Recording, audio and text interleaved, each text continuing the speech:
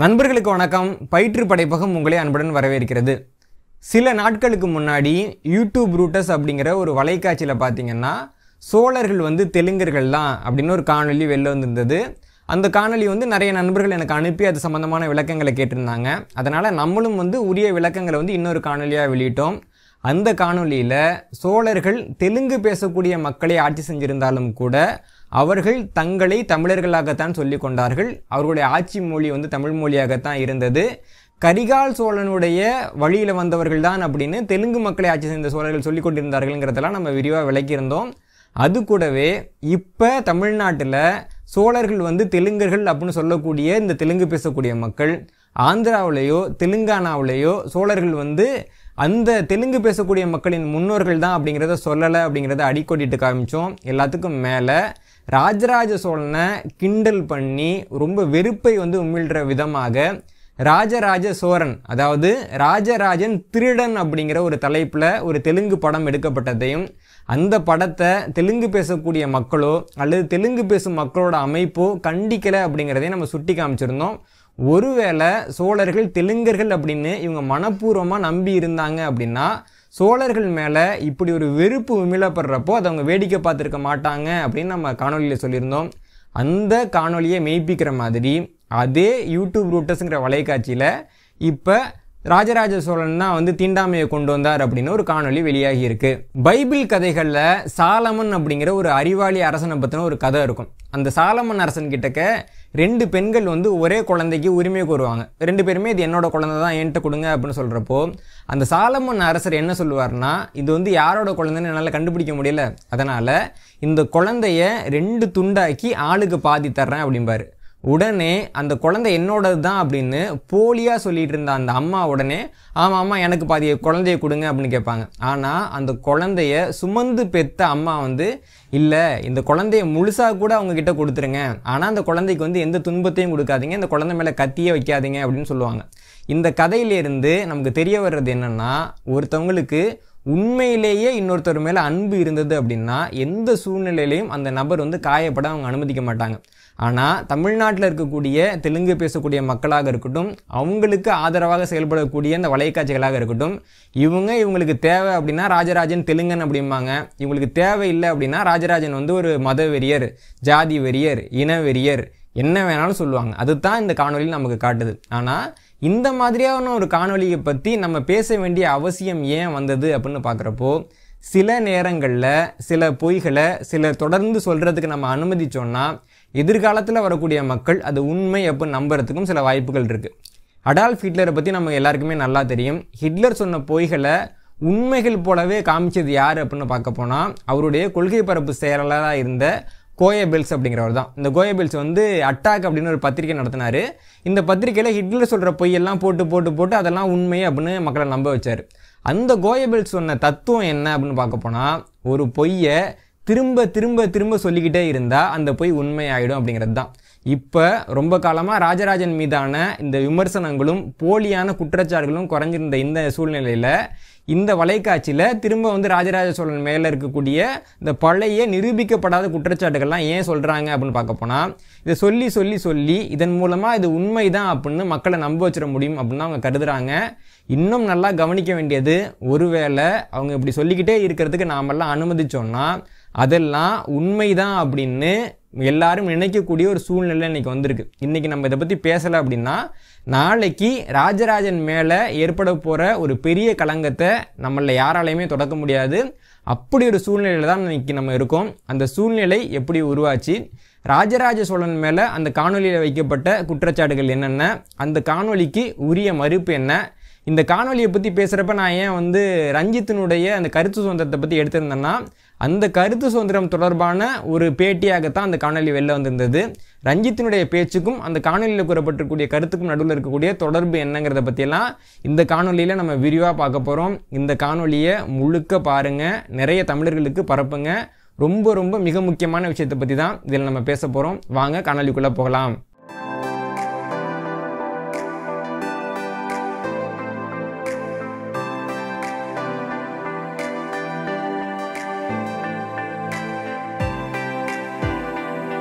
இயக்குனர் ரஞ்சித் ராஜராஜ சோழனை பற்றி தவறாக பேசின கருத்துக்கள் தொடர்பான வழக்கு நிறைய இடங்களில் நடைபெற்று வருது.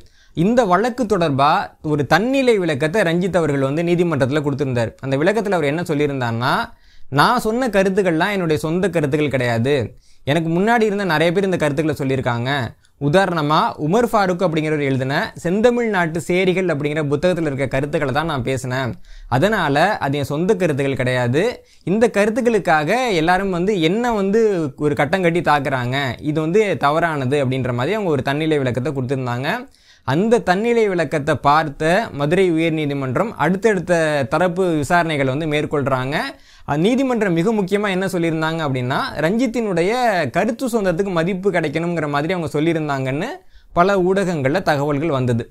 இந்த இடத்துல ரஞ்சித் கொடுத்த விளக்கத்தை நான் எப்படி பார்க்குறேன் அப்படின்னா அவருடைய விளக்கம் வந்து ஒரு வகையில் ரொம்ப நியாயமானது அப்படின்னு நான் பார்க்குறேன். ஏன்னா ராஜராஜ சோழன் குறித்த என்னுடைய பேட்டிகளாக இருக்கட்டும் என்னுடைய நூல்களாக இருக்கட்டும் இந்த நொடி வரைக்கும் அதாவது இந்த காணொளி வரைக்கும் நான் ரஞ்சித் அப்படிங்கிற பெயரை பயன்படுத்தினதே இல்லை. அதுக்கு என்ன காரணம் அப்படின்னா ரஞ்சித் சொன்ன அந்த குற்றச்சாட்டுகள் எல்லாம் அவர் சொந்தமாக சொன்ன குற்றச்சாட்டுகள் கிடையாது.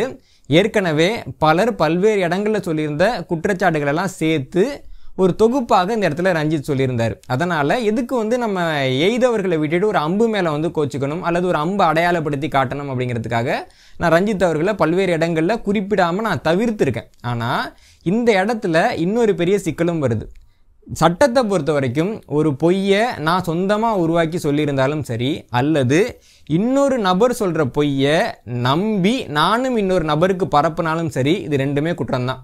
இன்றைக்கி முகநூலில் பார்த்தீங்கன்னா ஒருத்தர் வந்து ஒரு தவறான ஒரு ஆபத்தை விளைவிக்கக்கூடிய செய்தியை பதிவாக போடுறாருன்னா அவருக்கு என்ன தண்டனையோ அதே தண்டனை தான் அந்த பதிவை சரிபார்க்காம பகிரக்கூடிய நபர்களுக்கும். இதுதான் இன்றைக்கி சட்டமாக இருக்குது அப்படி இருக்கிறப்போ ஒரு கருத்தை வந்து பொது வெளியில் ஊடகங்கள்லாம் இருக்கிறப்ப பேசிட்டு அந்த கருத்து தொடர்பான ஒரு விளக்கத்தை சொல்லணும் அப்படின்னு நேரம் வர்றப்போ அந்த சூழ்நிலையில் இது என்னோட சொந்த கருத்து இல்லை அப்படின்னு சொல்கிறது ஏற்க தகுந்தது கிடையாது. நீங்கள் வந்து பேசுகிறப்பயே நான் இந்த நூலோட கருத்துக்களை மட்டும்தான் பேசுகிறேன் இந்த கருத்துக்கள் என்னுடைய சொந்த கருத்துக்கள் கிடையாது.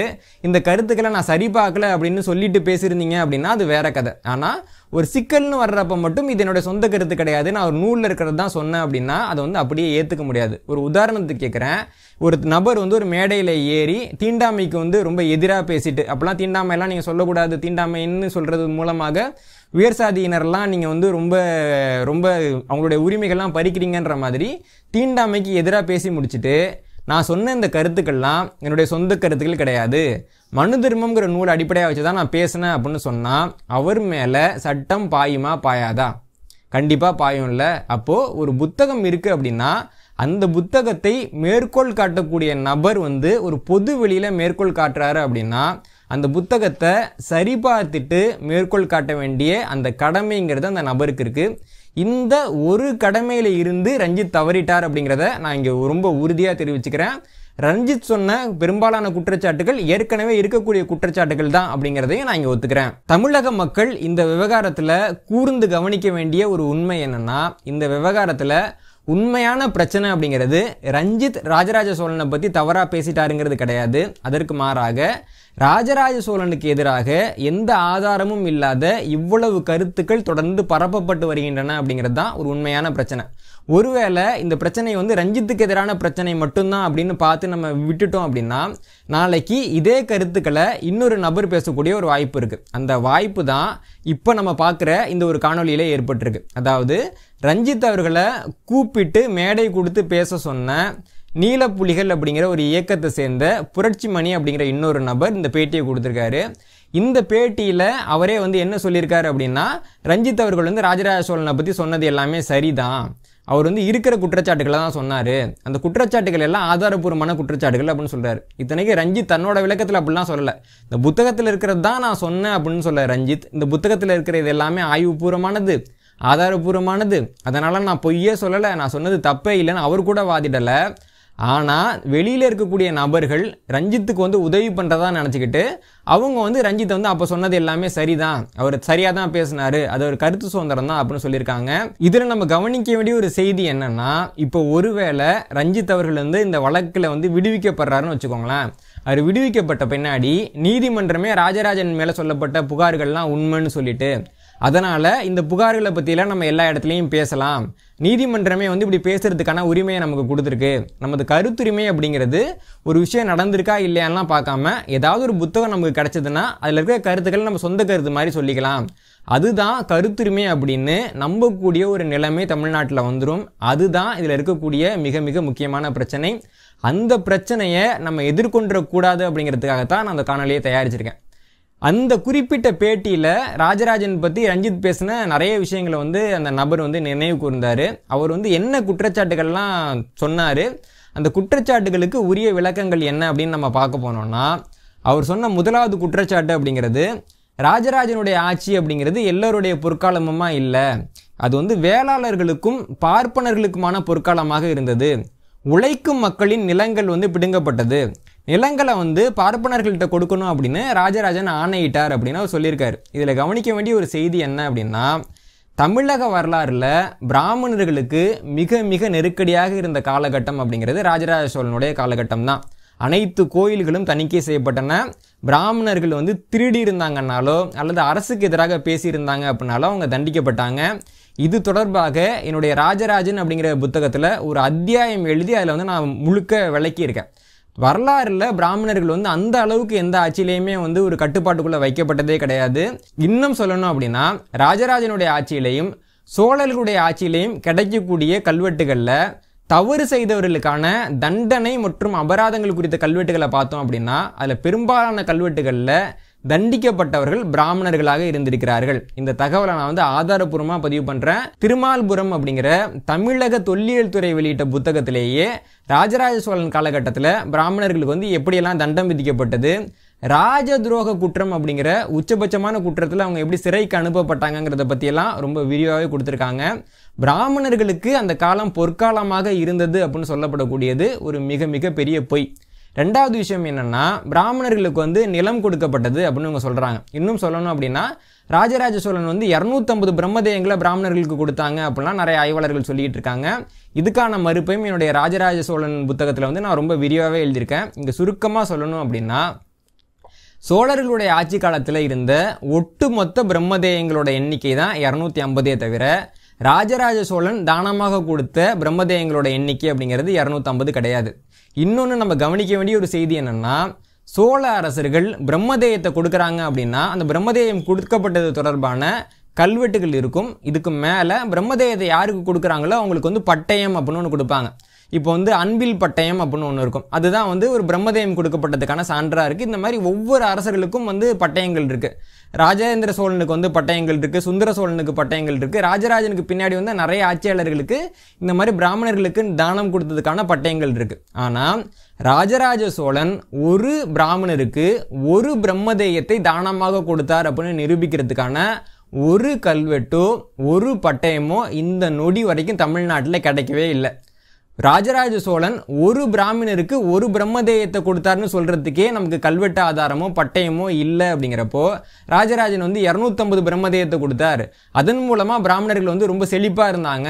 அது பிராமணர்களுக்கு ரொம்ப ஆதரவான காலமாக இருந்தது அப்படிங்கிறது ஒரு பச்சை பொய் ஒரு ஆதாரமே இல்லாத ஒரு உள்நோக்கத்தோட கூடிய பொய் ஒரு விஷயத்த சுத்தமாக நடக்காத ஒரு விஷயத்த இரநூத்தம்பது மடங்கு நடந்த மாதிரி சொல்லக்கூடிய ஒரு உலகத்தின் மிகப்பெரிய பொய் அப்படின்னு தான் நம்ம அதை சொல்ல முடியும்.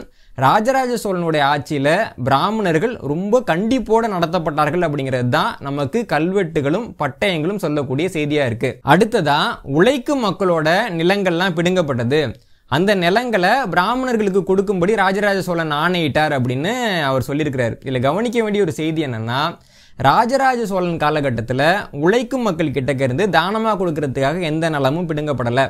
சோழர்கள் காலத்தில் ஒரு பொதுவான விதி இருக்கும். அந்த விதி என்ன சொல்லுது அப்படின்னா ஆறு போகத்துக்கு அதாவது ரெண்டு ஆண்டுகளுக்கு ஒரு நிலத்தை வச்சிருக்கக்கூடிய நபர் நிலவரியே செலுத்தின அப்படின்னா அந்த நிலம் வந்து அரசுக்கு உடைமையாக்கப்படும் அப்படிங்கிறதா அந்த சட்டம். இப்போ கூட வந்து ஒரு நபர் வந்து கடனை கட்டலை வரியை கட்டலை அப்படின்னா அவங்க சொத்தை வந்து அரசாங்கம் எடுத்துக்கிறாங்க இல்லைங்களா?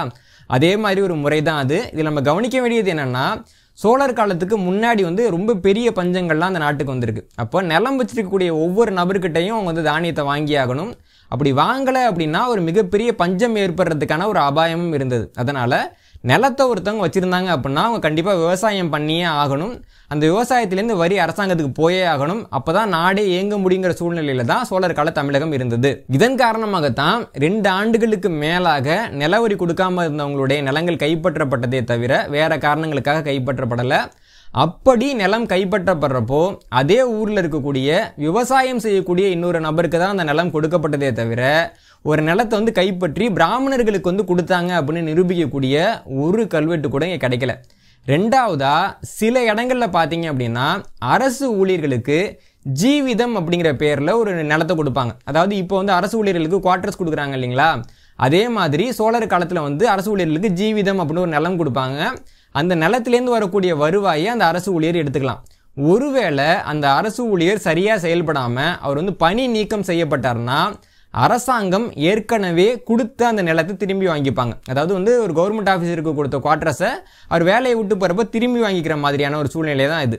இப்படியாக ஜீவிதமாக கொடுக்கப்பட்ட சில நிலங்களை பதவி நீக்கம் செய்யப்பட்டவர்கள்ட்டேருந்து சோழ அரசர்கள் வந்து திரும்பி வாங்குறப்போ பதவி நீக்கம் செய்யப்பட்ட அந்த அவமானத்தால் அவங்க வந்து தீக்குளிக்கிறாங்க இதுக்கு எதிராக போராடுறாங்க.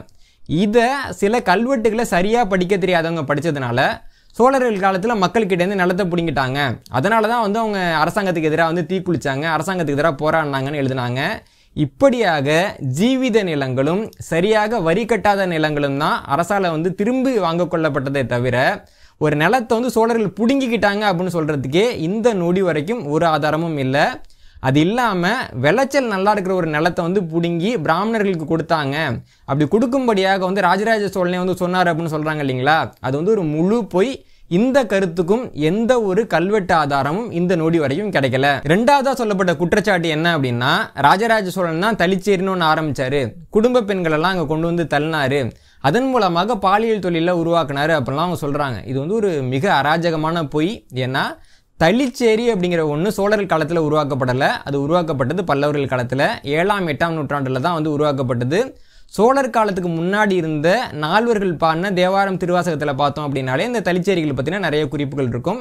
ராஜராஜன் தான் தளிச்சேரியை உருவாக்குனார் அப்படிங்கிறது முதலாவது பொய். ரெண்டாவது பொய் என்னென்னா ராஜராஜ சோழன் காலத்தில் மட்டும் இல்லை தமிழ் அரசர்கள் ஆட்சி செய்யக்கூடிய அந்த ஒட்டுமொத்த காலகட்டத்திலையுமே தளிச்சேரியில் இருக்கக்கூடிய பெண்கள் வந்து பாலியல் நோக்கத்தோட ஒருபோதும் அணுகப்பட்டதே கிடையாது. இதை நான் மட்டும் சொல்லலை. ஐரோப்பாவை சேர்ந்த ஒரு பெண் ஆய்வாளர் முனைவர் பட்டம் பெற்ற ஒரு ஆய்வாளர் கோவில் பெண்களை பற்றியே வந்து ஒரு ஆய்வு பண்ணி முனைவர் பட்டம் வாங்கினவங்க அவங்க தான் இந்த லெஸ்லி சி ஓர் அப்படிங்கிறவங்க. அவங்க எழுதின புத்தகத்தில் கோவில் கல்வெட்டுகளில் இருக்கக்கூடிய சொற்கள் மற்றும் கோவில் பெண்களை பற்றி அவங்க எழுதுகிறப்போ இந்தியாவில் தமிழகத்தில் இருக்கக்கூடிய கோயில்களில் பெண்கள் வந்து பாலியல் தொழிலாளியாக பார்க்கப்பட்டதே கிடையாது. கல்வெட்டுகள்லையும் அவங்க பாலியல் தொழிலாளிகளாக குறிக்கப்பட்டதே இல்லை அப்படிங்கிற ஒரு மிக முக்கியமான ஒரு தரவை கொடுக்குறாங்க. அவங்க வந்து எட்நூற்றி ஐம்பதாவது ஆண்டில் ஆரம்பித்து ஆயிரத்தி முந்நூறாவது ஆண்டு வரைக்கும் இருக்கக்கூடிய அனைத்து கோவில் கல்வெட்டுகளையும் ஆய்வு பண்ணுறாங்க இந்தியா முழுக்க. ஆனால் தமிழகத்தை சேர்ந்த கோயில்களில் பெண்கள் வந்து பாலியலுக்காக வைக்கப்பட்டார்கள் அப்படின்னும் அவங்க வந்து தவறாக பார்க்கப்பட்டார்கள் அப்படின்னும் ஒரு சின்ன தரவு கூட கிடைக்கல அப்படின்னு இந்த ஆய்வாளர் சொல்லியிருக்காங்க.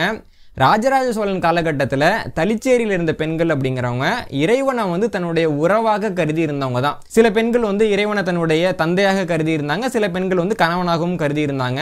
இறைவனுடைய உறவுக்காரர்கள் அப்படின்னு கருதி இருந்த பெண்கள் தான் தலிச்சேரி பெண்களாக இருந்தாங்க. அவர்கள் சோழர் காலத்தில் ஒருபோதும் எந்த இடத்துலையும் பாலியல் தேவைகளுக்காக அணுகப்பட்டதே கிடையாது அப்படிங்கிறதான் வரலாற்று உண்மை. இதை பற்றியும் என்னுடைய ராஜராஜ சோழன் புத்தகத்தில் நான் ரொம்ப விரிவாகவே எழுதியிருக்கேன். மூணாவது மிகப்பெரிய குற்றச்சாட்டு என்ன அப்படின்னா ராஜராஜ சோழன் காலத்தில் தான் தீண்டாமை அப்படிங்கிற ஒன்றே உருவானது. தாழ்த்தப்பட்ட மக்கள் வந்து சேரிகளில் வந்து தங்க வைக்கப்பட்டாங்க ஊருக்கு ஒதுக்குப்புறமாக தங்க வைக்கப்பட்டாங்க. தீண்டாமைங்கிற சொல் வந்து ராஜராஜ சோழன் காலகட்டத்தில் தான் முதன் முதலாக கண்டுபிடிக்கப்பட்டதுன்னு ரொமிலா தாப்பரே சொல்லிட்டாங்க அப்படிங்கிறது ஒரு மிகப்பெரிய குற்றச்சாட்டு. யார் இந்த ரொமிலா தாப்பர் அப்படின்னு பார்க்குறப்போ அசோகன் எழுதின அசோக பிராமியில இருந்து தான் தமிழிங்கிற தமிழ் பிராமி வந்தது அப்படின்னு சொன்னவங்க தான் அந்த ரொமிலா தாப்பர். ஆனால் இன்னைக்கு ஆய்வு பண்ணுறப்போ அசோக பிராமி உருவாகிறதுக்கு மூன்று நூற்றாண்டுகள் முன்னாடியே தமிழி உருவாகிட்டு அப்படின்னும் தமிழிலேருந்து உருவானது தான் அசோக பிராமி அப்படின்னு நிரூபிக்கப்பட்டிருக்கு. இந்த கருத்தை வந்து ரொமிலா தாப்பரும் ஏற்றுக்கிட்டு நான் வந்து ஆய்வு பண்ணது தவறான ஒரு முடிவுக்கு கொண்டு போச்சு அப்படின்னு அவங்க ஒத்துக்கிட்டாங்க. இவ்வளவு தான் ரொமிலா தாப்பர். ரொமிலா தாப்பர் சொல்லிட்டாங்க அப்படின்னா ஹைகோர்ட் சொல்லிட்டு அப்படிலாம் ஒன்றும் அர்த்தம் கிடையாது. இந்த ரொமிலா தாப்பர் கொண்டு வந்த ஆய்வு முடிவுகள்லேயே ரொம்ப மோசமான ஆய்வு முடிவு அப்படிங்கிறது தீண்டாமை குறித்த உங்களுடைய ஆய்வு தான் ஏன்னா சோழர்கள் காலத்தில் கிடைச்ச ரெண்டு கல்வெட்டுகளில் ஒரு கல்வெட்டு வந்து தீண்டாச்சேரி பரச்சேரி அப்படின்னு குறிக்குது. இன்னொரு கல்வெட்டில் வந்து தீண்டாச்சேரியில் இருக்கிறவங்க அந்த குளத்துல தண்ணி எடுக்கக்கூடாதுன்னு வருது. இந்த ரெண்டு கல்வெட்டுகளையும் அப்படியே வச்சுக்கிட்டு சோழர்கள் காலத்திலேயே தீண்டாமைங்கிறது இருந்தது. மக்கள் சேரிகளில் வைக்கப்பட்டாங்க. அந்த மக்கள் வந்து பொது குளத்தில் தண்ணி எடுக்க கூட அனுமதிக்கப்படலை அப்படின்னு ஒரு முழு கதையே ரொமிலா தாப்பர் எழுதியிருந்தாங்க. இங்கே கவனிக்க வேண்டிய ஒரு செய்தி என்னன்னா இப்போது தீண்டாச்சேரி அப்படிங்கிற இடத்துல தான் தாழ்த்தப்பட்ட மக்கள்லாம் தங்க வைக்கப்பட்டிருந்தாங்க அப்படின்னா எந்த சாதியை சேர்ந்த மக்கள் அந்த தீண்டாச்சேரியில் தங்க வைக்கப்பட்டிருந்தாங்க அப்படிங்கிற கேள்விக்கு இந்த நொடி வரைக்கும் பதில் இல்லை. ஏன்னா சோழர்கள் காலத்தில் பரச்சேரியில் இருந்த மக்களுக்கு அவங்க வந்து பொது குளத்தில் தண்ணி எடுக்கிறதுக்கோ அவங்க கோயிலுக்கு வர்றதுக்கோ கோவிலை பூசாரியாக இருக்கிறதுக்கோ கூட எந்த ஒரு தடையும் விதிக்கப்படலை. அவங்க வந்து உயர்ந்த மக்களாகத்தான் சோழர்கள் காலத்தில் கருதப்பட்டாங்க. அவர்களுக்கு வந்து ராஜராஜன் அப்படிங்கிற பட்டம் கூட கொடுக்கப்பட்டது. அப்போது தீண்டாச்சேரியில் இருந்த மக்கள் யார் அப்படின்னு கேட்டால் அதுக்கான எந்த பதிலையும் என்ன வரைக்கும் கொடுக்க முடியல. உண்மையில் பார்க்க போனால் தீண்டா அப்படிங்கிற அந்த சொல் இருக்குல்ல அந்த சொல்லுக்கு என்ன அர்த்தம்னா நான் அடுத்தவங்களை தீண்ட மாட்டேன் அப்படிங்கிறது தான் அர்த்தம். தீண்டாமை அப்படின்னா என்ன அடுத்தவங்க தீண்ட மறுக்கிறாங்க அப்படிங்கிறது அர்த்தம். அப்போ தீண்டாச்சேரியில் இருக்கிற மக்களை அடுத்தவங்க தொடமாட்டாங்கன்றது அர்த்தம் கிடையாது. பிறரை தீண்டாச்சேரியில் இருக்கிற மக்கள் தொடமாட்டாங்க அப்படின்னு அர்த்தம். இந்த தீண்டாச்சேரியில் இருந்த மக்கள் யாரு? தீண்டாமை அப்படிங்கிற சொல்லுக்கும் தீண்டாச்சேரிங்கிற சொல்லுக்கும் நடுவில் எந்த தொடர்பும் இல்லை. அது ஏங்கிறத பற்றியெல்லாம் என்னுடைய ராஜராஜ சோழன்கிற புத்தகத்தில் நான் வந்து விரிவாகவே வந்து பதிவு பண்ணியிருக்கிறேன். தீண்டாமைங்கிறது சோழர்கள் காலத்தில் இருந்தது அப்படிங்கிறது ஒரு முழு பொய். அடுத்து சொல்லப்படுற மிக முக்கியமான குற்றச்சாட்டு என்னன்னா சோழர்கள் காலத்தில் குடிமக்கள் மேலே நானூறுக்கும் மேற்பட்ட வரிகள் விதிக்கப்பட்டன. மக்கள் சுரண்டப்பட்டாங்க அப்படிங்கிறது தான். இதில் வந்து ரொம்ப எளிமையான புரிதல் என்ன அப்படின்னா ஒரு குறிப்பிட்ட நபர் மேலே அதிகபட்சமாக ரெண்டு மூணு வரி தான் இருக்கும். நானூறு வரி அப்படின்னு சொல்கிறாங்கன்னா இப்போ குயவர்களுக்குன்னு தனியாக ஒரு வரி இருக்கும். அதே மாதிரி வந்து சலவை செய்யக்கூடிய தொழிலாளர்களுக்குன்னு ஒரு தனியாக வரிகள் இருக்கும். வணிகம் செய்யக்கூடியவர்களுக்குன்னு தனியாக வரிகள் இருக்கும் விவசாயிகளுக்குன்னு தனியாக வரிகள் இருக்கும். இந்த வரிகள் எல்லாத்தையும் மொத்தமாக கூட்டி தான் நானூறு வரிகள் வருதே தவிர ஒரு குறிப்பிட்ட நபர் மேலே நானூறு வரிகளை விதித்தாங்க அப்படின்னு சொல்லப்படுறதெல்லாம் போய். இது போக சோழர்கள் காலத்தில் யார் மேலேயும் வந்து அதிக அளவிலான வரிகள்லாம் போடப்படலை. ஏன்னா சுதந்திர இந்தியாவில் பார்த்தீங்க அப்படின்னா சூப்பர் டேக்ஸ் அப்படின்னு ஒரு வரி போட்டாங்க. சூப்பர் டேக்ஸ் அப்படிங்கிறது ஒரு நபர் வந்து நூறுரூபா சம்பாதிக்கிறாருன்னா தொண்ணூறு ரூபாயை அரசாங்கத்துக்கு வரியாக செலுத்தணும். இந்தியாவில் வந்து அந்த டேக்ஸ் சிஸ்டம் இருந்தது. இப்போ வந்து பெட்ரோலுக்கு நம்ம வந்து அதிகமாக வரி செலுத்திக்கிட்டு இருக்கோம். அதாவது வந்து பெட்ரோலினுடைய அசல் விலையை விட இரநூறு சதவீதம் அதிகமாக நம்ம கொடுத்து மொத்தம் முந்நூறு சதவீத வரியை வந்து நம்ம பெட்ரோலுக்கு செலுத்திக்கிட்டு இருக்கோம். ஆனால் சோழர்கள் காலத்தில் இந்த அளவுக்கு எந்த ஒரு குறிப்பிட்ட வரியும் அதிகமான தொகையை பிடுங்கக்கூடியதாக வசூலிக்கப்படலை.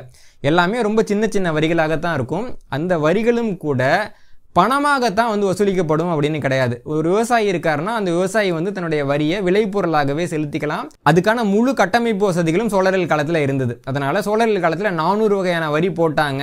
அதனால முந்நூற்றி அறுபத்தஞ்சு நாளில் மக்கள் வந்து நானூறு வகையான வரியை செலுத்துறதுலேயே வாழ்க்கையை கழிச்சாங்க அப்படின்னு சொல்கிறதெல்லாம் பச்சை போய். இதில் வந்து எந்த உண்மையும் கிடையாது. அடுத்து சொல்லப்பட்ட மிக முக்கியமான குற்றச்சாட்டு என்ன அப்படின்னு பார்க்க போனால் சோழர்கள் ஆட்சியில் பார்ப்பனர்களுக்கு வந்து முழு வரி விலக்கு கொடுக்கப்பட்டிருந்தது. வேற யாருக்குமே வரி விலக்கு கொடுக்கல அப்படிங்கிறது தான். இங்கே கவனிக்க வேண்டிய ஒரு செய்தி என்னன்னா ராஜேந்திர சோழனுடைய கரந்தை செப்பேட்டு தொகுதியை பார்க்குறப்போ அங்கே வாழ்ந்த பிராமணர்கள் கிட்டக்க பாதி அளவுக்கு வரி வசூலிக்கப்பட்டது அப்படிங்கிற குறிப்பு இருக்குது ஆனால் அதே சமயம் அங்கே வாழ்ந்த பறையர் இனத்தை சேர்ந்த மக்கள் கிட்ட இருந்தும் கம்மாளர் இனத்தை சேர்ந்த மக்கள் கிட்டக்க இருந்தும் எந்த வரியுமே வாங்கப்படலை.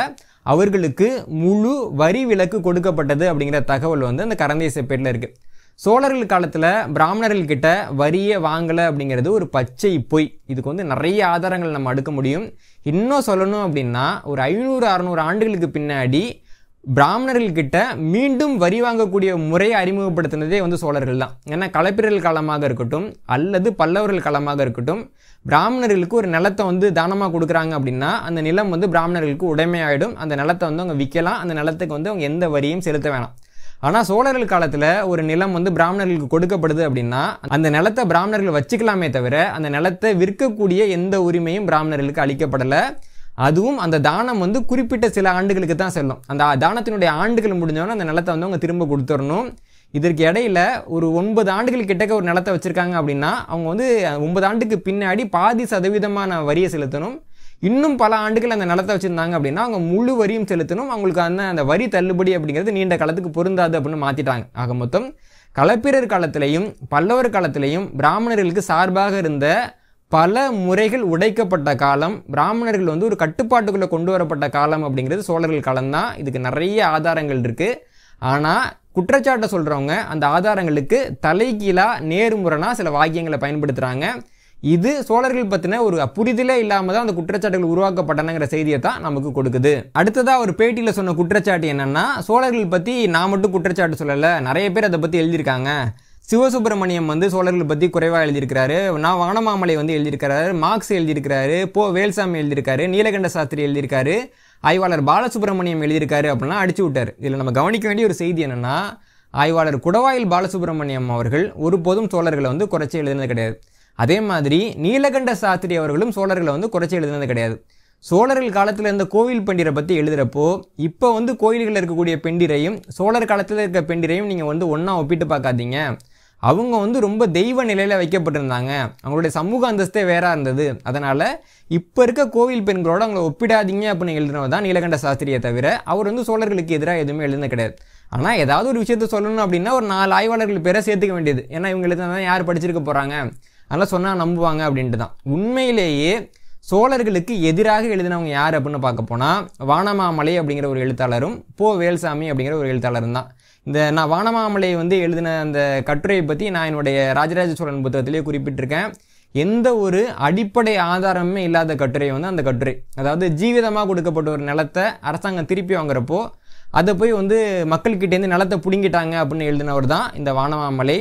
இதை விட ஒரு பெரிய ஒரு நகைச்சுவை என்ன அப்படின்னா சோழர்கள் காலத்தில் வந்து அடிமைகளை கொண்டு தான் வந்து தஞ்சாவூர் பெரிய கோயில் கட்டப்பட்டது. இதற்கு நிறைய ஆதாரங்கள் இருக்குது அப்படின்னு நான் வானமாமலை வந்து அவருடைய கட்டுரையில் எழுதியிருக்காரு. என்ன ஆதாரம் அப்படின்னு அவரும் சொல்லலை. அவருக்கு முன்னாடியும் யாரும் அந்த ஆதாரத்தை காட்டினதில்லை. அவருக்கு பின்னாடி இதுவரைக்கும் சோழர்களுடைய ஆட்சி காலத்தில் அடிமைகளை வச்சு தான் பெரிய கோயில் கட்டினாங்கங்கிறதுக்கான எந்த ஆதாரமுமே கிடைக்கல. இப்படி ஆதாரம் இருக்குது அப்படின்னு மட்டும் எழுதிட்டு அது என்ன ஆதாரம்னே சொல்லாமல் போகக்கூடிய கல்வெட்டை தப்பு தப்பாக படிச்சுட்டு நான் சரியாக படிச்சிட்டேங்கிற மாதிரி எல்லாருக்கும் வந்து ஒரு பிம்பத்தை ஏற்படுத்தக்கூடிய ஒரு ஆய்வாளராகத்தான் வானமாமலை அவர்கள் எழுந்திருக்காங்க. அதனால் இப்படிப்பட்ட சில ஆய்வாளர்கள் தான் சோழர்கள் பற்றி எழுதியிருக்காங்களே தவிர உண்மையிலே வரலாற்றை வந்து நன்றாக ஆய்வு செஞ்சு இந்த கல்வெட்டுகள்லாம் படித்த எந்த ஆய்வாளருமே சோழர்களை குறை சொல்லலை. இதில் வந்து வேல்சாமி அப்படிங்கிற இன்னொரு ஆய்வாளரை பற்றி சொல்கிறாங்க இந்த போ வேல்சாமி அவர்களுக்கு வேலை என்ன அப்படின்னு பார்த்தீங்கன்னா தமிழக அரசர்கள் மிக்க முக்கியமாக சொல்லணும் அப்படின்னா தமிழ் அரசர்கள் வந்து இதெல்லாம் தப்பு பண்ணாங்க இதெல்லாம் தப்பு பண்ணாங்க இதெல்லாம் தப்பு பண்ணாங்கன்னு எழுதுறது மட்டும்தான் இவருடைய வேலை. இவருடைய தாய்மொழி என்ன அப்படின்னு பார்க்க போனால் தெலுங்கு. இவர் கிட்டக்க தான் போயிட்டு நீங்கள் வந்து தெலுங்கு அரசர்கள் பற்றி ஏன் எழுதுமே எழுத மாட்டேன்றீங்க அப்படின்னு கேட்குறப்போ நான் வந்து தெலுங்கு அரசர்களை பற்றி ஆய்வே பண்ணலை. நான் ஆய்வு பண்ணது எல்லாமே வந்து தமிழ் அரசர்களை பற்றி தான் அப்படின்னு பல்ட்டி அடிச்சிட்டார் இவர்.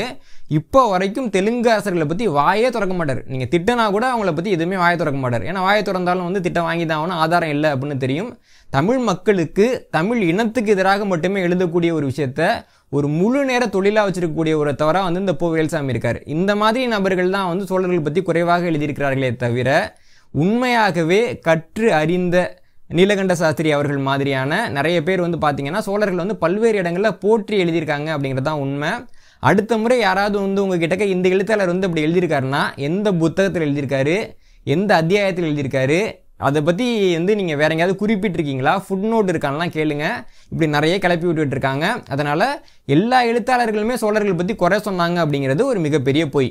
இது இல்லாமல் அந்த பேட்டியிலேயே பார்த்தீங்கன்னா நிறைய முரண்பாடுகள் இருந்தது. அந்த நெறியாளர் வந்து ரொம்ப ஆதரவான கேள்விகளை தான் கேட்குறாரு அவரே வந்து ஒரு இடத்துல கேட்குறாரு எங்கள் சோழர் காலத்தில் பார்த்தீங்க அப்படின்னா இப்போ பறையர்கள் மாதிரியான மக்கள் வந்து கோயில் பூசாரிகளாக இருந்தாங்கலாம் இருக்கே. அப்போ வந்து அவங்க நல்ல நிலைமையில் இருந்தாங்கலாம் சொல்கிறாங்களே ஆனால் நீங்கள் வந்து தீண்டாமை இருந்ததுன்னு சொல்கிறீங்களேன்னு கேட்குறப்போ அவருக்கு வந்து பதில் இல்லை.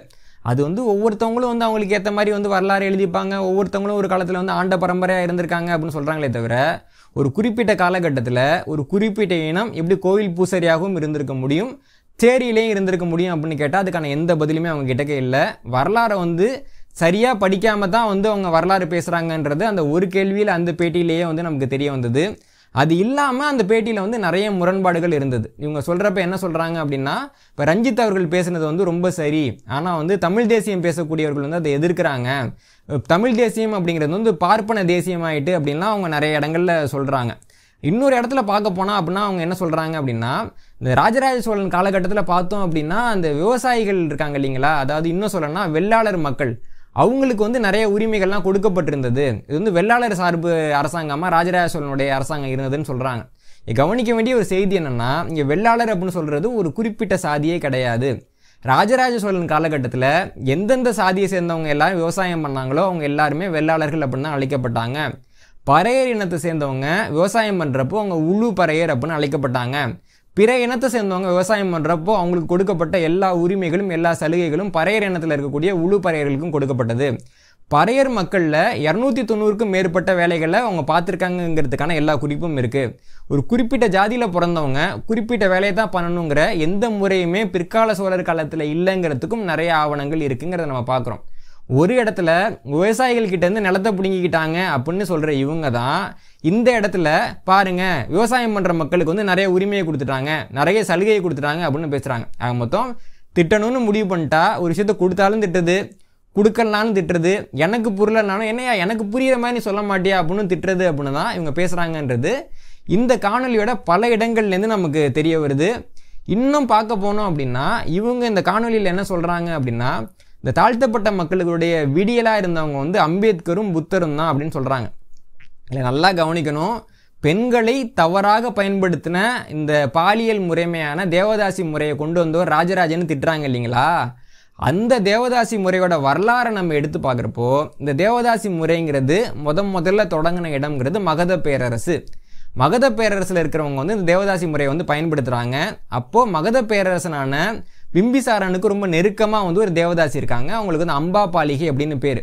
அந்த அம்பாபாலிகை கிட்ட புத்தர் வந்து தானம் கேட்குறாரு அப்போ வந்து அம்பாபாலிகை வந்து புத்தருக்கு ஒரு மாந்தோப்பையை தானமாக கொடுக்குறாங்க அப்படிங்கிற குறிப்பு புத்தரோட வரலாறுல இருக்குது அதற்கு பின்னாடி அம்பாபாலிகை போன்ற ரொம்ப பரவலாக அறியப்பட்ட நிறைய பெண்களை வந்து இவங்க புத்த மதத்தில் சேர்த்துக்கிறாங்க. இதன் மூலமாக ஆடல் பாடலில் ஈடுபடக்கூடிய பெண்களுக்கான ஒரு பகுதி வந்து புத்த மடாலயங்களில் வந்து தனியாக ஒதுக்கப்படுது. பின்னாடி தமிழகத்துக்குள்ள புத்த மடாலயங்கள்லாம் வந்த பின்னாடி ஒரு கட்டத்தில் புத்த மதமும் சமண மதமும் சைவ வைணவத்திட்ட தோக்குது. அப்போது புத்த விகாரங்களில் ஏற்கனவே இருக்கிற அந்த பெண்களை என்ன பண்ணுறது அப்படின்னு கேள்வி வர்றப்போ அவங்க வந்து அந்த கோயிலே இருக்கட்டும் அப்படின்னு விடுறாங்க. அப்படியாக புத்த மதம் வந்து பெண்களை வந்து மதத்துக்குள்ளே கொண்டு வந்து அதன் மூலமாக பெண்கள் கோயிலே தேங்கி போகிறாங்க இல்லைங்களா? அந்த பெண்கள் மூலமாக தமிழ்நாட்டில் உருவானது தான் தேவதாசி முறை. சைவமோ வைணவமோ தேவதாசி முறையை உருவாக்கவே இல்லை. புத்த மதத்தினுடைய செல்வாக்கால் உருவாக்கப்பட்ட ஒரு முறை தான் தேவதாசி முறை. இதுதான் வரலாறு நமக்கு சொல்லுது.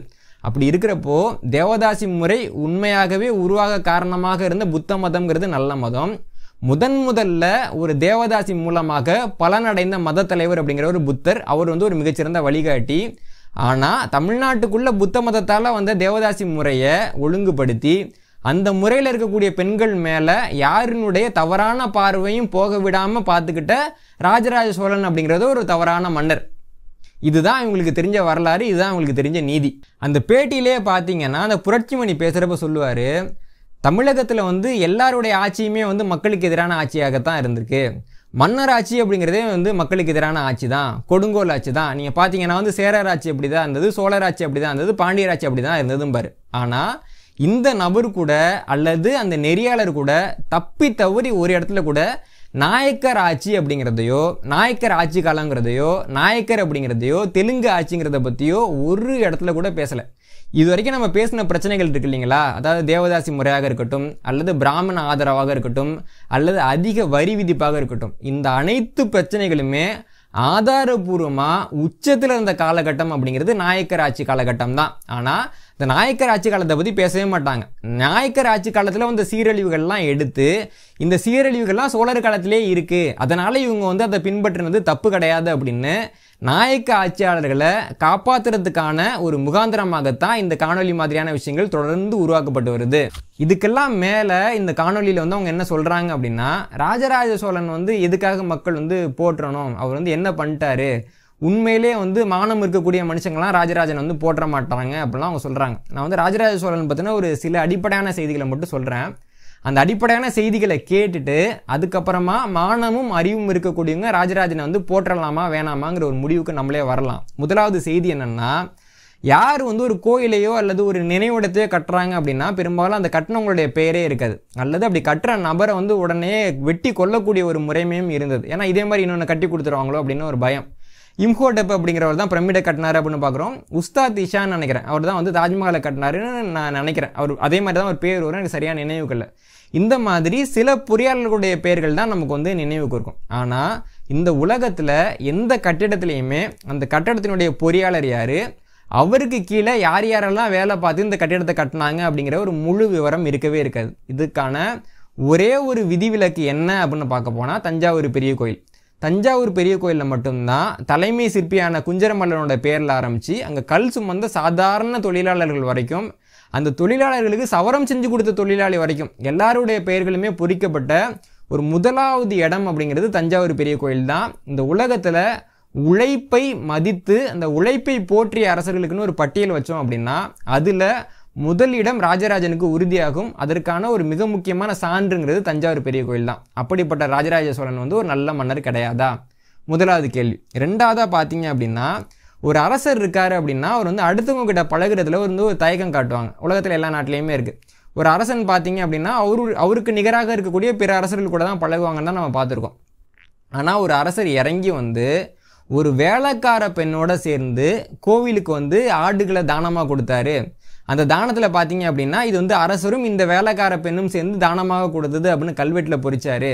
பாலின பேதத்தையும் ஒரு அந்தஸ்து பேதத்தையும் பார்க்காத அரசராக ஒருத்தர் இருந்தார் அப்படின்னு நம்ம பார்த்தோம்னா அதுவும் ராஜராஜ சோழன் தான். வடகுணல் அப்படிங்கிற ஒரு பெண்ணோட சேர்ந்து தஞ்சாவூர் பெரிய கோயிலுக்கு வந்து ஒரு ஆடை தானமாக கொடுத்தாரு அப்படிங்கிற ஒரு செய்தி வந்து தஞ்சாவூர் கல்வெட்டில் காணப்படுது. இந்த மாதிரி ஒரு காரியத்தை ராஜராஜனுக்கு முன்னாடியும் ஒருத்தவங்க வந்து பண்ணது கிடையாது பின்னாடியும் ஒருத்தவங்க பண்ணது கிடையாது. இந்த உயர்ந்த மனது அப்படிங்கிறது பாராட்டுறதுக்கு உரியதா இல்லையா அப்படிங்கிறது ரெண்டாவது கேள்வி. மூணாவதாக பார்த்தீங்க அப்படின்னா ராஜராஜ சோழன் தஞ்சாவூர் பெரிய கோயிலை கட்டுறதுக்கு முன்னாடி தமிழகத்தில் இருந்த கோயில்களில் அம்மன் சந்நிதி அப்படின்னு ஒன்று கிடையவே கிடையாது. தஞ்சாவூர் கோயிலில் தான் முதன் முதலாக பரமேஸ்வரிக்கு அப்படின்னு ஒரு தனி சந்நிதி அவர் கட்டினாரு. இதன் மூலமாக கோவில்களில் அம்மனுக்கு சந்நிதி வைக்கக்கூடிய முறையை முதன் முதலாக அறிமுகப்படுத்தினவர் தஞ்சாவூர் பெரிய கோயிலில் ராஜராஜ சோழன் தான். அவருக்கு பின்னாடி தான் அந்த முறை வந்து தொடர்ந்தது. அப்போது தெய்வம் அப்படின்னு வந்தால் கூட ஆணுக்கு கொடுக்கக்கூடிய அதே மரியாதையை பெண்ணுக்கும் கொடுக்கணும் அப்படின்னு நினச்ச ராஜராஜ சோழன் சிறந்த அரசரா இல்லையா அப்படிங்கிறது தான் மூன்றாவது கேள்வி. நான்காவதாக பார்த்தோம் அப்படின்னா பல்வேறு கல்வெட்டுகள்லேயும் நமக்கு வந்து அதிகாரி அப்படிங்கிற ஒரு வார்த்தை கிடைக்கிது. அதிகாரிங்கிறது ஆண்பால் வார்த்தை. ஆனால் அதற்கு மாறாக அதிகாரிச்சி அப்படிங்கிற பெண் அதிகாரிகளை குறிக்கக்கூடிய சொல் வந்து முதன் முதலாக ராஜராஜ சோழன் காலகட்டத்தில் தான் காணப்படுது. பெண்களுக்கு வந்து மிகப்பெரிய பதவிகளை கொடுத்து அவங்கள வந்து அந்த நிலையில் இருத்தி அவர்கள் மூலமாக ஆட்சி பரிபாலனம் செஞ்ச முதல் தமிழக அரசர் வந்து ராஜராஜ சோழன் தான். பெண்களுக்கு வந்து உயர் பதவிகளை கொடுக்கணும் கல்வியை கொடுக்கணும் அப்படிலாம் நம்ம இன்றைக்கு வரைக்கும் சொல்லிகிட்டு இருக்கோம். ஆனால் நம்மளால் பெரிய அளவில் பண்ண முடியல. அப்படி இருக்கிறப்போ சோழர்கள் காலத்தில் அதாவது ஒரு ஆயிரம் ஆண்டுகளுக்கு முன்பாகவே அதை பண்ண ராஜராஜ சோழன் ஒரு சிறந்த அரசராக இல்லையா அப்படிங்கிறது தான் நான்காவது கேள்வி. எல்லாத்துக்கும் மேலே ஒரு உலகாண்ட அரசர்னு சொல்லலாம். ஏன்னா மற்ற மூன்று வேந்தர்களையும் வென்றுட்டாரு. இந்தியாவினுடைய பல பகுதிகளில் கங்கை வரைக்கும் அவருடைய படையெடுப்புலாம் போயிட்டு வருது. கடல் தாண்டியெல்லாம் போய் வெல்றாரு. அப்படிப்பட்ட அரசர் வந்து தான் உருவாக்கின நீர்நிலைகளில் கல்வெட்டு வைக்கிறப்போ இந்த நீர்நிலைகளை யாராவது நல்லா பார்த்துக்கிட்டாங்க அப்படின்னா அவர்களுடைய பாதம் எனது தலை மீது வைக்க கடவுது அப்படின்னு எழுதுறாரு. அவங்க பாதத்துக்கு கீழே நான் என்னோட தலையை வச்சுக்கிறேன்.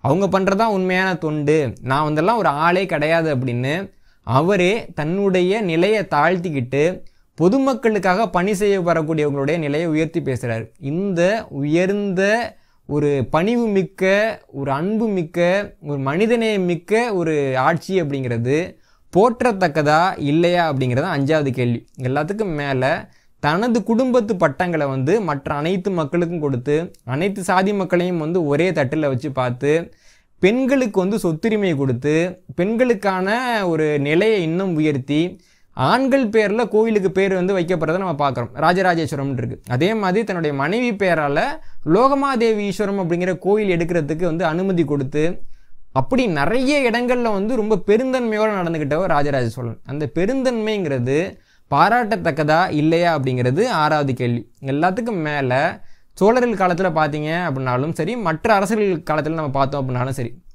ஒரு அரசர் இன்னொரு அரசரை வந்து ஜெயிக்கிறப்போ அந்த அரசனுடைய குடும்ப பெண்களை தூக்கிட்டு வர்றது மூக்கா இருக்கிறது இந்த அரசர் தான் என்கிட்ட தோத்தாருன்னு சொல்கிறது அந்த அரசனுடைய கழுத்தை வந்து வெட்டி இவருடைய தலையை நான் வந்து கொய்துட்டேன் அப்படின்னு பட்டங்களில் சொல்கிறது அப்படிலாம் பார்க்குறோம் ஆனால் ராஜராஜ சோழனுடைய பட்டங்களை ஆய்வு செய்யக்கூடிய ஆய்வாளர்கள் அவர் வந்து எந்த அரசை ஜெயிச்சாரோ அந்த பேர் தான் குறிப்பிடாரே தவிர எந்த அரசரை ஜெயிச்சாரோ அதாவது வந்து இப்போ சேர நாடை ஜெயிக்கிறாங்க அப்படின்னா அந்த பகுதியோட பேர் இருக்குமே தவிர சேரரை ஜெயிச்சேன் அப்படிலாம் இருக்காது. அந்த மாதிரி வந்து ரொம்ப பெருந்தன்மையாக வந்து தனது கல்வெட்டுகளை பொறித்தவர் ராஜராஜன் சொல்கிறாங்க ராஜராஜ சோழனுடைய கல்வெட்டுகளை பார்த்தோம் அப்படின்னா பாண்டியர்களையும் சிங்களர்களையும் மட்டும்தான் அவங்க நேரடியாக குறிப்பிட்டிருப்பாங்க. அதுலேயும் பார்த்தீங்க அப்படின்னா பாண்டியரை சொல்கிறப்போ தேசு கொள் செழியர் அப்படின்றாரு. அதே மாதிரி சிங்களரை சொல்கிறப்போ முரட்டு எழில் சிங்களர் அப்படின்னு சொல்கிறார் ஆக மொத்தம் ஒருத்தவன் வந்து தோத்துட்டான்னா அதுக்காக அவன் பெயரை குறிக்கக்கூடாது. ஒருவேளை அவன் பெயரை குறிக்கிறதா இருந்தால் கூட அவனுடைய சிறப்பு என்னவோ அதை சொல்லி தான் குறிக்கணும். அவனை தாழ்த்தி குறிக்கக்கூடாது அப்படின்னு நினச்ச ஒரே அரசர் இந்திய வரலாறு ராஜராஜ சோழன் தான். இந்த பெருந்தன்மையை நம்ம பாராட்டணுமா வேணாமா?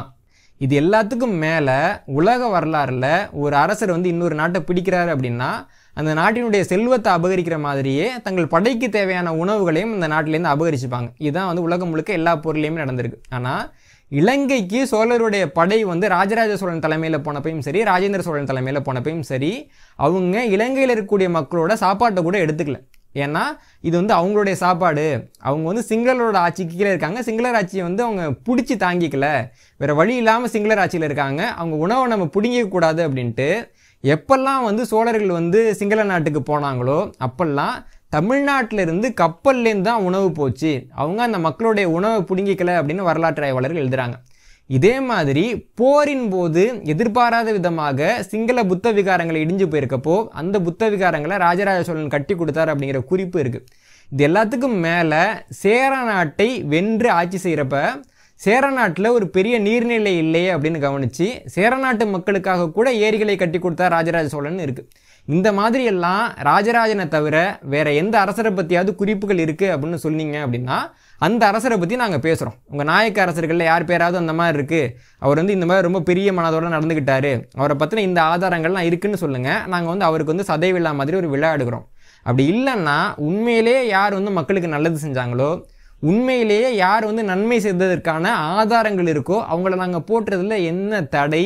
அப்படி போட்டுறதுல உங்களுக்கு வந்து என்ன ஒரு பிரச்சனை? உங்களுக்கு வந்து தீண்டாமை தான் பிரச்சனை அப்படின்னா தீண்டாமைனா என்ன? அதை யார் கொண்டு வந்தாங்க? யார் காலத்தில் உச்சத்தில் இருந்தது அப்படின்னு பார்த்து திட்டுங்க. அதை விட்டுட்டு இந்த உலகத்தில் எந்த பிரச்சனை வந்தாலும் அதுக்கு ராஜராஜ சோழன் தான் காரணம் அப்படின்னு கொண்டு வந்து நிறுத்துறது இருக்கு இல்லையா? அது உங்களுடைய வன்மத்தை தவிர வேறு எதையுமே காட்டலை. அதனால தான் மக்கள் வந்து உங்கள் கருத்துக்கு எதிராக இருக்காங்க. இது கருத்து சுதந்திரத்துக்கு எதிரான ஒரு நிலைப்பாடு கிடையாது. மாறா நீங்கள் சொல்லக்கூடிய வார்த்தைகளின் பின்னாக இருக்கக்கூடிய வன்மத்துக்கு எதிரான நிலைப்பாடாகத்தான் மக்களோட எதிர்வினைங்கிறது இருக்கு. ராஜராஜ சோழன் மேல வைக்கப்பட்ட அவதூறுகள் குறித்த வழக்குகளை விசாரித்து வரக்கூடிய நீதிபதிகளாக இருக்கட்டும் அல்லது இந்த விவகாரத்தில் என்ன நடக்குது அப்படின்னு புரியாமல் பார்வையாளர்களாக இருக்கக்கூடிய பொதுமக்களாக இருக்கட்டும். உங்கள் எல்லாருக்குமே வந்து நான் இங்கே ஒரு விஷயத்தை தெளிவுபடுத்த கடமைப்பட்டிருக்கேன். இப்போ ஒரு நபர் வந்து ராஜராஜ சோழனை பற்றி பேசுகிறாரு நீ எப்படி பேசலாம் அப்படின்னு இன்னொரு நபர் கேட்குறாரு அப்படின்னா அது வந்து கருத்து சுதந்திரத்துக்கு எதிரானது தான். ஒரு நபர் பேசுறாருங்கிறப்ப அதை நம்ம தடுக்கக்கூடாது அப்படிங்கிறது தான் கருத்து சுதந்திரம். இதில் வந்து எந்த மாற்று கருத்தும் கிடையாது. ஆனால் அதே சமயம் ராஜராஜ சோழனை பற்றி இல்லாத ஒரு கருத்தை ஆய்வு நெறிக்கு முரணான ஒரு கருத்தை ஆதாரபூர்வமற்ற ஒரு கருத்தை ராஜராஜ சோழனுக்கு இழிவு வந்து சேர்க்கக்கூடிய ஒரு கருத்தை வந்து ஒரு நபர் சொல்கிறப்போ உங்கள் கருத்து வந்து தவறானது. ஆதாரபூர்வமற்றது. இந்த கருத்து வந்து ஒரு ஒரு விரோதத்தினுடைய அடிப்படையால் வந்திருக்கு அப்படின்னு நான் நினைக்கிறேன். அதனால் அந்த கருத்தை வந்து நீங்கள் சொல்லாதீங்க அப்படின்னு சொல்கிறதுங்கிறது ஒரு கருத்து சுதந்திரத்துக்கு எதிரான நிலைப்பாடு கிடையாது. மாறா ஒரு பொய்யை ஒரு புரளியை தடுக்கக்கூடிய ஒரு செயல்பாடாகத்தான் அதை வந்து பார்க்கப்படணும். அதனால் ராஜராஜ சோழன் அப்படின்னு பார்க்குறப்போ தமிழ்நாட்டில் நிறைய மக்கள் வந்து அவரை தங்களுடைய முன்னோராக வந்து நினைக்கிறாங்க மதிக்கிறாங்க. அதன் காரணமாகத்தான் ராஜராஜ சோழன் பற்றி ஒரு அவதூறு வருது அப்படின்னா பல்வேறு சாதிகளை சேர்ந்த மக்கள் வந்து அந்த அவதூறுக்கு எதிரான வழக்கு தொடுக்கிறாங்க. பல்வேறு மாவட்டங்கள்ல இருந்து பல்வேறு கட்சிகள்ல இருந்து பல்வேறு அமைப்புகள்ல இருந்து அதுக்கான எதிர்வினை வருது. இப்போ ராஜராஜ சோழன் அப்படிங்கிறது வந்து குறிப்பிட்ட பிரதிநிதித்துவம். ராஜராஜ சோழன்னா வந்து அவர் ஆரியருக்கானவர் அப்படிங்கிற மாதிரிலாம் இருந்தது அப்படின்னா எல்லாரும் வந்து அவருக்கு ஆதரவாக பேச மாட்டாங்க. அப்போது ராஜராஜ சோழனுக்கு ஆதரவாக நிறைய பேர் வர்றாங்க இல்லைங்களா? அவங்களுடைய புரிதல் என்ன அப்படிங்கிறத முதல்ல பார்க்கணும். இன்னொரு பக்கம் ராஜராஜ சோழனை மக்கள் வந்து தங்கள் மனங்களில் உயர்வான இடத்துல வச்சிருக்கப்போ ஆதாரமே இல்லாமல் நபர்களுடைய நம்பிக்கையை கொச்சப்படுத்துறது அவங்களுடைய பண்பாட்டு மேலே வந்து சேர வாரி பூசுறது. நீங்கள்லாம் ஒரு காலத்தில் வந்து சாதி வெறியர்களாக இருந்தீங்க. சாதி வெறியர்களால் தான் நீங்கள் ஆளப்பட்டீங்க. நீங்கள்லாம் வந்து ஆரம்ப காலத்திலேயே தீண்டாமையை கொண்டு வந்துட்டீங்க. ஒரு காலத்தில் வந்து நீங்கள் தான் வந்து இந்த பாலியல் முறைமைகளை தப்பாக பயன்படுத்துனீங்க அப்படின்னு சொல்கிற குற்றச்சாட்டு அப்படிங்கிறது அரசர்கள் மீதான குற்றச்சாட்டு மட்டும் இல்லை மனிதர்கள் மீதான குற்றச்சாட்டும் கூட தான். இப்போ தமிழ் சமுதாயத்தை ஒட்டுமொத்தமாக தலைக்குனிய வைக்கக்கூடிய குற்றச்சாட்டுகள் தான் இங்கே சொல்லப்பட்டிருக்கு.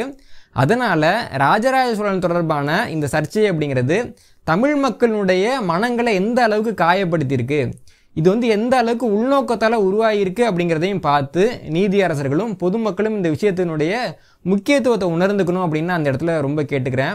இன்னொரு இடத்துல வந்து ராஜராஜ சோழன் தொடர்பாக பேசக்கூடிய நிறைய நபர்கள் வந்து சில குறிப்பிட்ட புத்தகங்களை படிச்சுட்டு தான் வந்து பேசுகிறாங்க என்னுடைய ராஜராஜ சோழனுங்கிற புத்தகத்தில் அந்த புத்தகங்கள்லாம் எவ்வளவு தவறாக எழுதப்பட்டது எந்த அளவுக்கு அடிப்படையாக ஒரு ஒரு புரிதலே இல்லாமல் எழுதப்பட்டது அப்படிங்கிறத பற்றிலாம் நான் விரிவாக சொல்லியிருக்கேன். உங்களுக்கு என்னுடைய விளக்கத்தில் வந்து மாற்று கருத்து இருக்குது அப்படின்னா நீங்கள் வந்து தொடர்ச்சியாக அந்த மாற்று கருத்தை முன்வைக்கலாம். ஒருவேளை உங்களுடைய கருத்துக்கள் வந்து தவறானது அப்படின்னு நீங்கள் உணர்றீங்க அப்படின்னா தயவு செஞ்சு நான் வந்து என்னுடைய பழைய கருத்துலேருந்து இந்த இடத்துல மாறுபடுறேன். நான் வந்து என்னுடைய கருத்தை திருத்திக்கிட்டேன் அப்படிங்கிறத வெளில சொல்லுங்கள் அப்படி சொன்னீங்கன்னா தான் உங்களை சார்ந்து இருக்கக்கூடிய நபர்கள் நீங்கள் ஏற்கனவே சொன்ன அந்த அவதூறை பரப்புற வேலையை வந்து நிப்பாட்டுவாங்க. அப்படி நிப்பாட்டலை அப்படின்னா இதுக்கு வந்து ஒரு முடிவே இல்லாமல் போயிடும். நீங்கள் வந்து ஒரு வேளை என்னுடைய பழைய கருத்து தப்பு அப்படின்னு தெரிவிக்கிறீங்கன்னா அதனால் வந்து நீங்கள் பெருசாக வந்து குறைஞ்சி போயிட போகிறது கிடையாது. ஏன்னா தேசப்பிதா மகாத்மா காந்தியடிகளை பார்த்தீங்க அப்படின்னா நான் வந்து ஒரு அமைப்பை வந்து தப்பாக தொடங்கிட்டேன். நான் வந்து ஒரு இமாலய தவறை செஞ்சிட்டேன் அப்படின்னு சொன்னவர் தான் மகாத்மா காந்தி அவர் தான் நம்ம வந்து தேசப்பிதா அப்படின்னு சொல்கிறோம் திருக்குறளினுடைய பொழிப்புரைகள்லாம் படிச்சுட்டு திருக்குறள் மாதிரி ஒரு மோசமான நூலே இல்லைன்னு சொல்லிட்டு இருந்தவர் தந்தை பெரியார். ஆனால் பொழிப்புரைகள் வந்து தவறாக எழுதப்பட்டிருக்கு. திருக்குறளுக்கு வந்து உண்மையான அர்த்தம் இதுதான். திருவள்ளுவர் திருக்குறளை எழுதின அந்த காலகட்டத்தில் மற்ற நூல்கள்லாம் எங்கே இருந்தது? திருக்குறள் இங்கே இருந்தது அப்படின்னு விஷயங்கள்லாம் வந்து அவருக்கு சொல்லப்படுறப்போ நான் வந்து தவறாக புரிஞ்சுக்கிட்டேன். திருக்குறள் வந்து ஒரு மிகச்சிறந்த நூல் அப்படின்னு சொல்லி திருக்குறளுக்கு விழாவே எடுத்தவர் தான் தந்தை Periyar. சட்டப்பேரவையிலேயே yes I committed a mistake and I admit it அப்படின்னு நான் ஒரு தப்பு பண்ணிட்டேன் அப்படின்னு ஒத்துக்கிட்டவர் தான் அறிஞர் அண்ணா. இந்த மாதிரி ஒவ்வொரு நபர்களும் வந்து தப்பு செய்கிறது அப்படிங்கிறது இயற்கை தான். அப்படி தப்பு செய்கிறப்போ அந்த தப்பை வந்து ஒத்துக்கணும். ஆனால் அதுக்கு மாறாக நான் சொன்னது தப்பு தான். இருந்தாலும் நான் அதுக்காக மன்னிப்பு கேட்க மாட்டேன். எனக்கு முன்னாடி இருக்கிறவங்க அந்த பொய்யை சொல்லியிருக்காங்க. அதனால நான் சொல்கிறேன் இதுக்காக நீங்கள் என்கிட்ட கேட்க முடியாது. மக்களில் யாரோட மனசு புண்பட்டாலும் பரவாயில்ல. நான் வந்து என்னுடைய கருத்தை சொல்லுவேன். அது உண்மையாலாம் பார்க்க மாட்டேன் அப்படிங்கிற நிலைப்பாடு தான் உங்கள் நிலைப்பாடு அப்படின்னா மானம் உள்ள அறிவுள்ள வரலாறு தெரிஞ்ச தமிழினத்தை நேசிக்கக்கூடிய ஒவ்வொரு நபரும் உங்களுக்கு எதிராக நிற்பார்கள். இன்னும் நிறைய சட்ட போராட்டங்கள் நடக்கும். அதெல்லாம் நீங்கள் எதிர்கொண்டு தான் ஆகணும். நீங்கள் சொன்னது வந்து உங்களுடைய கருத்து உங்கள் வாயிலேருந்து அந்த கருத்து. அப்போது அதன் மூலமாக தோன்றின சர்ச்சையை உங்களுடைய வாய் மூலமாகத்தான் நீங்கள் வந்து முடிச்சு வைக்க முடியும். ராஜராஜ சோழன் விவகாரத்தில் நீங்கள் வந்து இதை பேசுனீங்கன்றது ஒரு வகையில் எனக்கு மகிழ்ச்சி தான். ஏன்னா இவ்வளவு சர்ச்சைகள் அங்கே ஒன்று இங்கே ஒன்றா இருந்தது அப்படிங்கிறப்போ அதெல்லாம் வந்து ஒரே நபர் மூலமாக வெளில வர்றப்போ தான் அதற்கான பதில்களை வந்து எங்களால் கொடுக்க முடிஞ்சதுங்கிற அடிப்படையில் எனக்கு வந்து அதில் மகிழ்ச்சி தான். நீங்கள் சொன்ன மாதிரியே இந்த கருத்துக்கள்லாம் வெவ்வேறு நூல்களில் இருந்து நீங்கள் எடுத்தீங்க அப்படிங்கிறதையும் என்னால் புரிஞ்சிக்க முடியுது. ஆனால் அந்த கருத்து வந்து நீங்கள் சொன்னீங்க. நீங்கள் வந்து தினசரி வந்து பத்திரிக்கையெல்லாம் பார்க்குறீங்க புத்தகங்கள்லாம் படிக்கிறீங்க ஆயிரக்கணக்கான நூல்கள்லாம் நீங்கள் படிக்கிறீங்க. அதில் எதை வந்து எடுக்கணும் எதை பேசணும் எதை பேசக்கூடாதுங்கிற அந்த முடிவுங்கிறது நம்ம எடுக்கிறது தான். இப்போ நாயக்கர்கள் பற்றியெல்லாம் நிறைய நூல்கள்லாம் இருக்குது அந்த நூல்கள்லாம் பார்த்தோம் அப்படின்னா நமக்கே வந்து ரொம்ப அதை அதை பற்றியெல்லாம் பேச முடியாது. அதை பற்றி பேச வேணாம்னு நான் பார்க்குறேன் அப்படிலாம் இருக்குது இப்போ கூடப்ப நாயக்கன் காதல் கதை அளவுக்கு ஒரு மோசமான ஒரு நூல் வந்து உலக வரலாறுலேயே நம்ம சொல்ல முடியாது. அந்த அளவுக்கு வந்து பாலியலுக்கான நூல். அதை பற்றியெல்லாம் யாராவது பேசுகிறோமா பேசுகிறது இல்லைல்ல. அப்போது எதை பேசுகிறோம் எதை பேசலை அப்படிங்கிற முடிவு வந்து நம்ம எடுக்கிறோம். அந்த முடிவை எடுக்கிறோன்றப்போ அந்த பேசு பொருளுக்கான கொஞ்சம் ஒரு தார்மீக நியாயங்கிறது நம்ம கிட்டக்க வருது. அப்போது அந்த பேசு பொருள் யாரை காயப்படுத்தும் யாரை குஷிப்படுத்தும் தெரிஞ்சாவது நம்ம அதை பேசுகிறோம் இல்லையா? அப்போது உங்களுடைய கருத்து தவறு என்றால் அந்த தவறால் பலரினுடைய மனசு பாதிக்கப்பட்டிருக்கு அப்படின்னா அதற்கு தார்மீக பொறுப்பு எடுத்துக்கிட்டு நீங்கள் சொன்ன கருத்து உண்மையாக பொய்யாங்கிறதுக்கான ஒரு சரியான விளக்கத்தை கொடுத்து அதனால் பாதிக்கப்பட்ட நபர்கள்கிட்ட மன்னிப்பு கேட்க வேண்டிய ஒரு தார்மீக நிலைப்பாடு அப்படிங்கிறது உங்களுக்கு தேவை. தமிழக வரலாறுல எவ்வளவோ போராட்டங்கள் நடந்திருக்கு. எவ்வளவோ மக்கள் வந்து நீதிக்காக போராடி இருக்காங்க ஆனால் முதல் முறையாக தமிழ்நாட்டில் இருக்கக்கூடிய வரலாற்று ஆய்வாளர்கள் வந்து நீதிக்காக போராட வேண்டிய ஒரு சூழ்நிலை வந்து ராஜராஜ சோழனுடைய இந்த வழக்கில் ஏற்பட்டிருக்கு. அதனால் இந்த வழக்கினுடைய தீவிரத்தன்மையை வந்து நீதிமன்றம் கவனிக்கணும். தமிழர்களுக்கான ஒரு உண்மையான நிவாரணம் அளிக்கப்படணும் நன்றி.